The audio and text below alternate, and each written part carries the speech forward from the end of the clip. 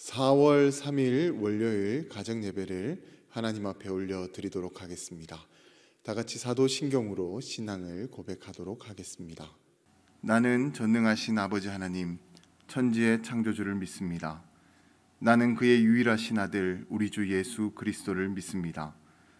그는 성령으로 잉태되어 동정녀 마리아에게서 나시고 본디오 빌라도에게 고난을 받아 십자가에 못 박혀 죽으시고 장사된 지 사흘 만에 죽은 자 가운데서 다시 살아나셨으며 하늘에 오르시어 전능하신 아버지 하나님 우편에 앉아 계시다가 거기로부터 살아있는 자와 죽은 자를 심판하러 오십니다.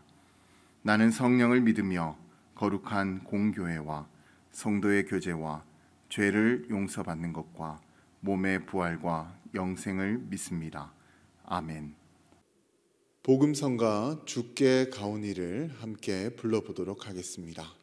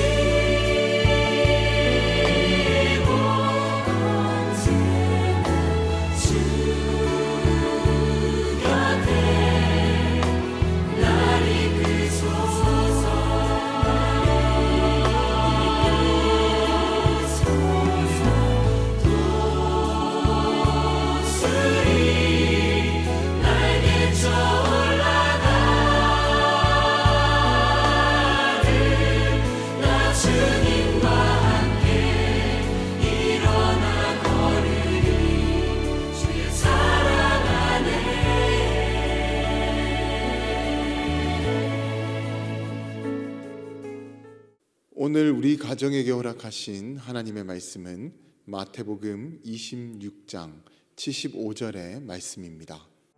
이에 베드로가 예수의 말씀에 다 굴기 전에 내가 세 번 나를 부인하리라 하심이 생각나서 밖에 나가서 심히 통곡하니라. 오늘 본문인 마태복음 26장에 나오는 베드로를 보게 되면 그는 방금 전 자신이 예수를 모른다라고 세번 어, 부인을 했을 때 닭이 울게 되자 주님의 말씀이 생각이 나서 후회의 눈물을 흘리게 되었습니다. 아마 그때 베드로의 심정은 마치 가슴에 비수가 날아와 꽂히는 것과 같은 어, 그런 고통이 찾아오게 되었을 것입니다. 그런데 오늘 본문을 보게 되면 베드로보다 더 악한 죄를 저지른 어, 그런 사람들의 이야기가 나옵니다. 그들은 바로 대제사장과 종교 지도자들 그리고 그들을 추종하는 무리들이었는데 어, 대제사장, 대제사장과 그리고 종교 지도자들은 백성들의 눈을 피해서 아무도 없는 때에 어, 예수님을 붙잡아 와서는 예수님께 침을 뱉고 주먹으로 얼굴을 치면서 그리스도야 우리에게 선지자 노릇을 해보라고 그렇게 조롱을 해댔습니다. 이 얼마나 악독한 일입니까? 그러나 그들 중 그 누구도 자신들의 행한 이 일에 대해서 후회하거나 회개하지 않았습니다. 오히려 그들은 자신들이 좋은 일들을 했다고 생각하며 어, 어, 의기양양하게 어, 그렇게 살아갔습니다.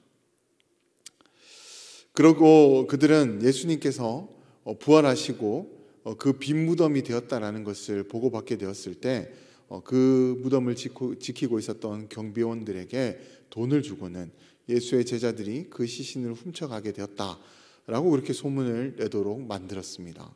정말 악한 사람들이지 않습니까? 이렇게 어, 예수님의 어, 제자였지만 한 순간에 배신을 선택했던 베드로나 예수님께 악한 짓을 저지르며 주님을 죽음으로 몰고 갔던 종교 지도자들 모두는 어, 예수님 보실 때 모두 다 큰 잘못을 한 어, 사람들이었습니다. 그러나 그들에게 차이점이 있다면 베드로는 자신의 잘못을 깨닫고 자신이 행한 일을 후회하고 회개를 했다라는 것입니다. 그리고 결국 주님께 용서를 받았다라는 거예요. 그러나 그들은 후회하지도 않았고 회개도 하지 않았습니다. 그러니 결국 용서도 받지 못하게 되었던 것입니다. 만약 그들도 진정으로 자신의 잘못을 깨닫고 자신이 행한 것에 대한 어, 후회하면서 그 일에 후회하면서 주님께 회개를 하게 되었다라고 한다면 주님께서는 분명 그들도 용서해 주셨을 것입니다. 그러나 그들에게는 후회가 없었기 때문에 용서를 받지 못하는 그 삶이 되었던 것입니다. 우리도 살다 보면 잘못한 일들을 저지를 때가 있습니다. 그런데 어, 잘못한 일을 저지른 것 자체도 문제이지만 가장 큰 문제는 그 일에 대한 어, 깨달음이 없고 후회도 없고 회개가 없으면 더 큰 잘못을 저지르게 되는 것입니다. 그렇게 우리는 날마다 우리의, 우리의 삶을 돌아보면서 내가 잘못한 것은 없는지, 내가 후회하며 회개해야 될 부분은 무엇인지를 늘 생각해 보면서 살아야 하는 것입니다. 그런 삶을 살아갈 때 우리의 삶은 주님 앞에 더욱 정결한 어, 삶이 되어질 줄로 믿습니다. 아무쪼록 주님 앞에 자신의 삶을 돌아보면서 죄 지은 것을 후회하고 회개하는 그런 거룩한 삶이 되시기를 주님의 이름으로 간절히 축원드립니다.